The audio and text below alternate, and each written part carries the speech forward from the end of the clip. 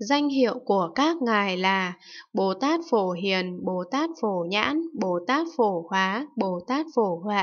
Bồ Tát Phổ Kiến, Bồ Tát Phổ Quang, Bồ Tát Phổ Quán, Bồ Tát Phổ Chiếu, Bồ Tát Phổ Tràng, Bồ Tát Phổ Giác.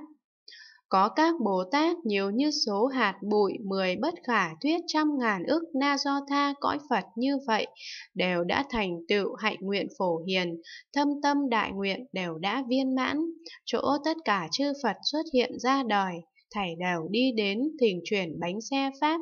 khéo hay thọ trì Pháp nhãn của chư Phật, chẳng dứt giống tánh của tất cả chư Phật, khéo biết tất cả chư Phật ra đời, thọ ký thứ tự, danh hiệu cõi nước, thành đẳng tránh giác, chuyển bánh xe Pháp. Thế giới không có Phật thì hiện thân thành Phật, hay khiến cho tất cả chúng sinh tạp nhiễm đều được thanh tịnh, diệt được nghiệp chướng của tất cả Bồ Tát vào Pháp giới thanh tịnh vô ngại.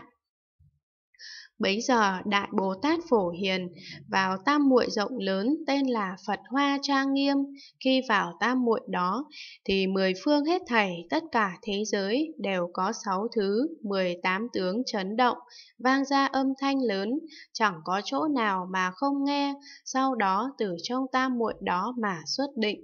Bấy giờ Bồ Tát Phổ Huệ biết đại chúng đã vân tập, bèn hỏi Bồ Tát Phổ Hiền rằng, Phật tử, xin hãy diễn nói, thế nào là chỗ nương tựa của Đại Bồ Tát, thế nào là nghĩ kỳ đặc, thế nào là hạnh, thế nào là thiện tri thức, thế nào là siêng tinh tấn, thế nào là tâm được an ổn,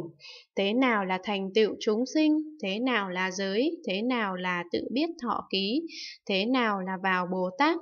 thế nào là vào Như Lai, thế nào là vào tâm hạnh chúng sinh, thế nào là vào thế giới, thế nào là vào kiếp, thế nào là nói ba đời, thế nào là biết ba đời, thế nào là phát tâm không nhàm mỏi,